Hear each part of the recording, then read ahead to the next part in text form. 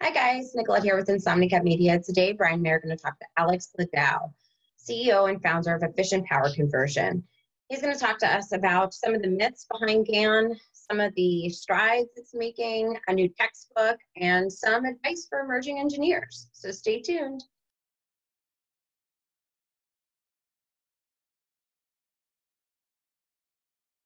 Hi guys, I'm Nicolette with Insomnicat, and today Bryan and I are talking with Alex Lidow. He is the CEO and founder of Efficient Power Conversion, a company that's making some serious strides in the GaN space right now.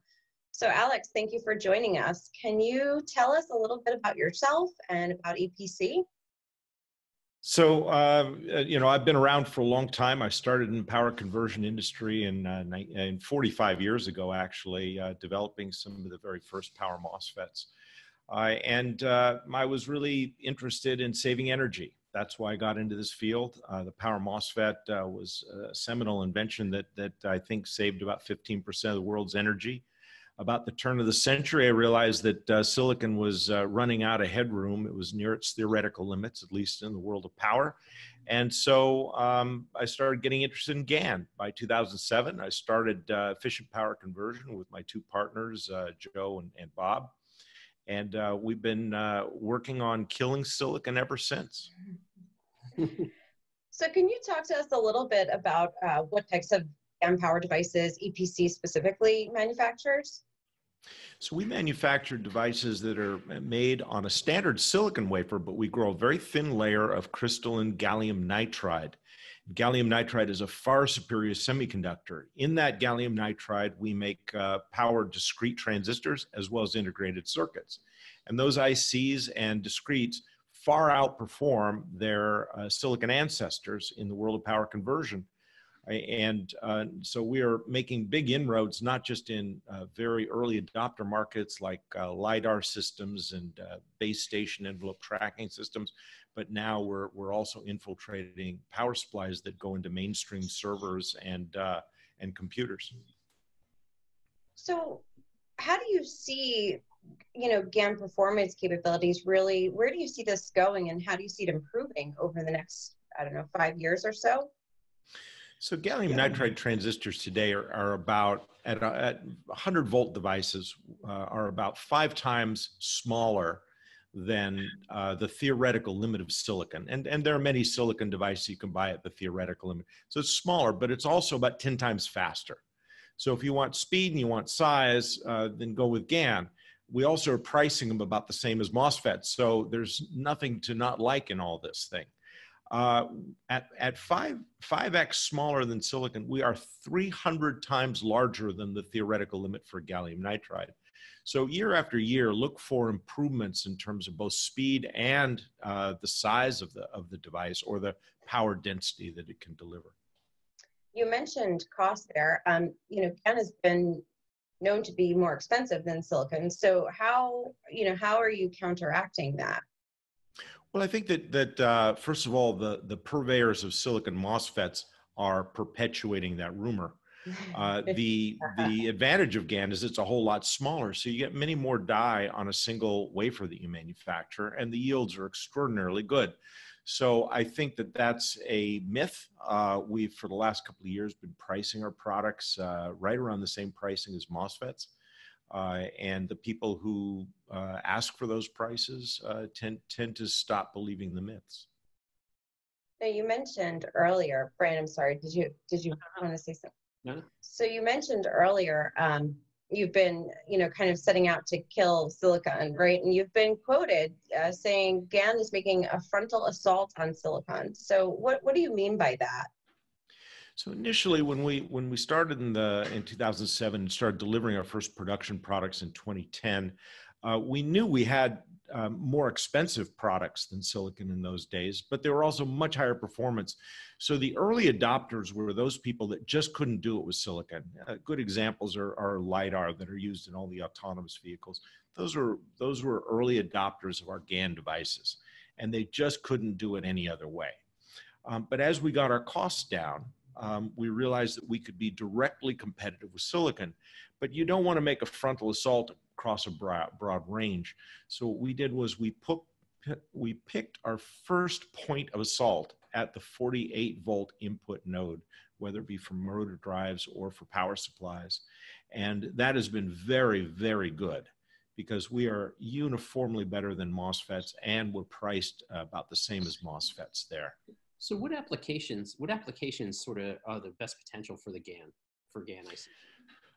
So, so GaN will do anything that silicon will do, but it'll do it better. Uh, um, but the the hot applications initially were were things like, um, uh, well, as I keep saying, lidar systems for autonomous vehicles and robots.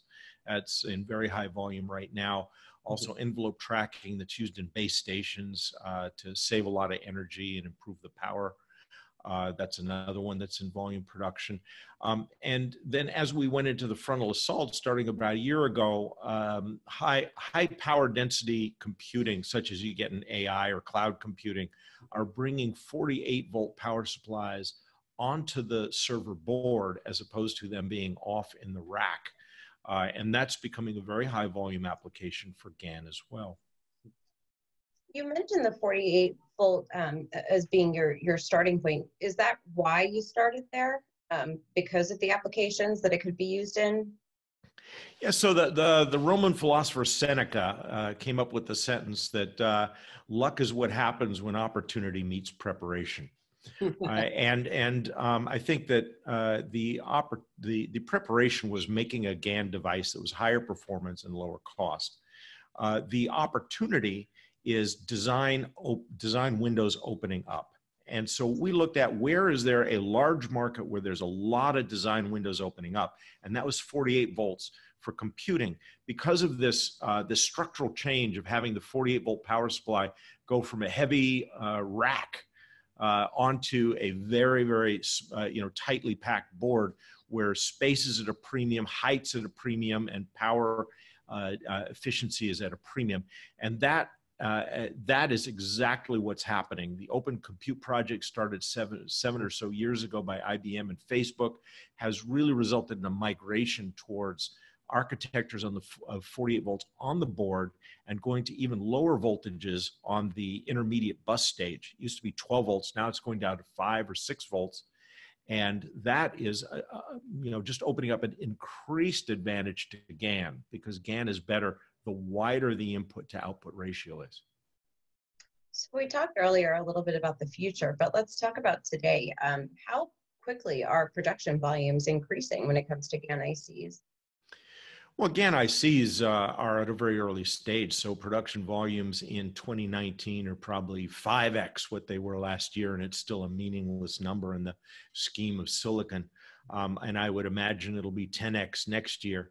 Uh, but what we are seeing with gallium nitride is because it's easier to integrate than silicon, it's a you know uh, interesting uh, story all by itself. Uh, we can make full power systems on a chip, uh, and we've done that for lidar systems, and now we're doing it for DC to DC converters.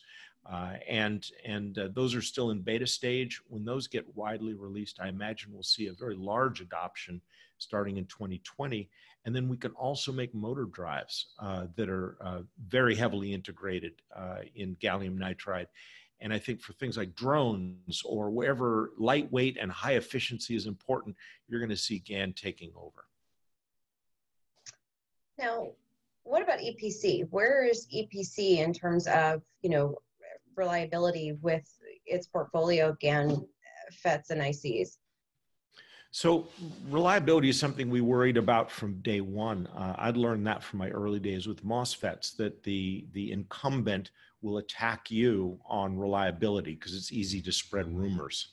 Uh, oh, be careful that new technology. You can't you watch out for it, right?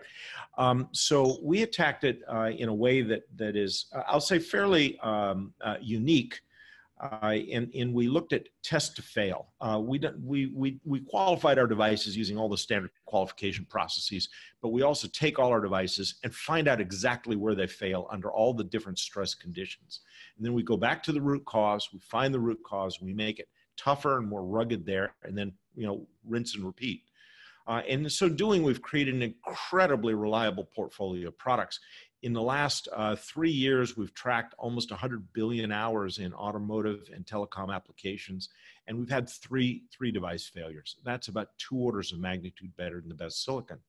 And I would caution the silicon people because their reliability is actually getting worse while gallium nitrides is quite extraordinary. So they maybe need to go back to first principles too.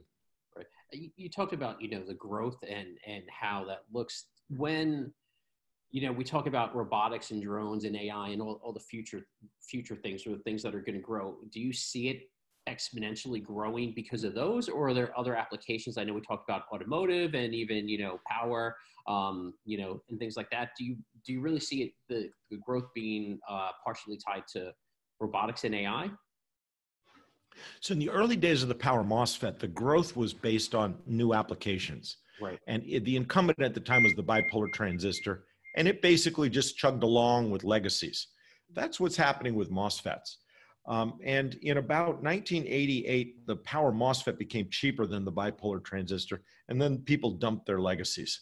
Uh, so now that GaN is actually getting to be equal or even cheaper than silicon, legacy applications are going to start converting. So we'll see the big growth markets as being 100% GaN. Why do anything else? And then the legacies, you know, the purchasing agents are going to start pushing the engineers to redesign some of these old things to save money or improve it, and then they'll go GaN as well. So Alex, we have a, a couple of, of nice questions for future engineers, but before we go there, you have a textbook out, mm-hmm. correct? Yes, um, we do. I even have it right here. Let me show it to you. That's what it looks like. Tell us about the book. So this is the third edition. It's published by uh, John Wiley. You can get it on Amazon. Uh, you can get it on our website. Uh, and it's really designed for the, uh, the power conversion engineer who wants to be at the state of the art. Uh, we go through the how devices are made, the physics behind them, why GaN is better, and then we go through uh, the foundations of how to use it, how to lay out, how to take advantage thermally of these devices, and then we go through application by application, whether it be DC to DC, Class D audio, LiDAR, uh, wireless power, uh, motor drives, and we go through all of those uh, very carefully to show people how to design for best performance. So if you're an engineer and you want to get into the world of power conversion, you're just graduating or, or, or something like that, you don't want to get into the history book. You want to get into the future. Uh, and, and I think that no, no, nobody would really even doubt that silicon carbide, gallium nitride, those are technologies that are up and coming as opposed to you know slowly dying away. So would you say the target audience is really for the brand new emerging engineer or seasoned engineers as well can benefit? Well, uh, I think the seasoned engineer who's ambitious wants to learn new things. Yes, sir. That's exactly what, what we need. Um, and, you know, to, to avoid those young bucks coming up and taking their jobs. Uh, but it, it's clear that more and more of the design work is going to be in GaN. Mm-hmm. Uh, so best be the best at that. So and this what, is the only textbook. So I mean, I, I, hope others come out, but this is the way to find out right. how to do it. That's awesome. So what what advice would you actually give, um, you know, you know, inspiring engineers or emerging engineers that are just coming into the market in, in sort of the future and what they need to look at in terms of their career or being entrepreneurs or anything like yourself? You know, you've developed some really great things, you know, over your career. What advice would you give them? Well, I think that that young engineers uh, coming right out of school, a they need to take risks. Mm-hmm. Uh, you know, I think that the the mistake would be a young engineer going into a a, a very large, stable old company that's just churning old designs. Uh, go with something new. Go with new technologies. Uh, I think that uh, certainly gallium nitride and silicon carbide are exciting. Everything is is not only new but is changing, and if you really enjoy that kind of a, a I'll say exciting but hardworking atmosphere, that's where you'll succeed. And 30 years from now, you'll probably have your own companies doing this, or you'll be at CEOs of semiconductor companies doing this, or or power conversion companies. That's awesome. Yes, it's great advice. Thank you, Alex. I, I do have a question. You know, so as the engineering community continues to adopt GaN and its designs and you know and the engineers are, are like they're they're trying to implement them right and how are you know how are you guys kind of supporting that design and effort you know how, how are we supporting and and what about the those who are uh, you know, opposing and resistant to change. You know, how are you supporting the new the newcomers and and those who are implementing this into their designs? Yeah, that's a big part of what we do. You know, I, I, draw the analogy if you if you drove a car your whole life and it was a stick shift Volkswagen, and then somebody gave you the keys to a Ferrari and said you have to drive it as fast as you can, you would probably run off the road pretty quickly. Mm. Um, and it, it's the same between the Power MOSFET and GaN. GaN is very fast, uh, it's very small, uh, and therefore you need to have more refined design and uh, manufacturing skills in order to implement it well.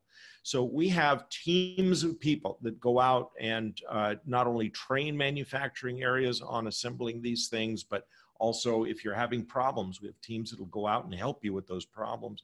And the same with, with layout and design. We have people all over the world positioned to go into customers, particularly we go in when it's a first time user, we immediately go in there and, and offer our services to work with the design, to help with the design, to validate the design um, and, and that's important. And that's advice I'd give to anybody going in there with, with gallium nitride is avail yourself of that help. And then of course we have videos on all of these topics and we have a textbook. Uh, we work with schools and then we also have a lot of development kits. So people can, can buy development kits off our website that um, already have all the hard design work done and all you have to do is plug your banana pins in and, and you can make something work uh, probably better than you could ever make it work with silicon. So Bryan, am I forgetting anything? I, I know we covered a whole lot very quickly. No. Is there anything I, you wanted to, to add in there, Bryan? No, I think I think uh, gave us a lot of information, Alex. Um, you know, thank thank you for your time today. What else, well, Alex? Thank you what, you, very what much. would you like to leave us with? Well, I, would just like to say that we have a uh, a real library of information uh, from all levels. Uh, uh, the beginner all the way through to the to the PhD level that's been working in GaN. Um, on our website, it's uh, www.epc-co.com. Uh, and you can buy products right off the website. Everything we have is in stock. Uh, we don't have vaporware out there, um, and all our literature is available online. So, so that's a place to start. Awesome. Thank you so much for your time, Alex. We really appreciate it. All right, Nicolette and Bryan, thank you so much.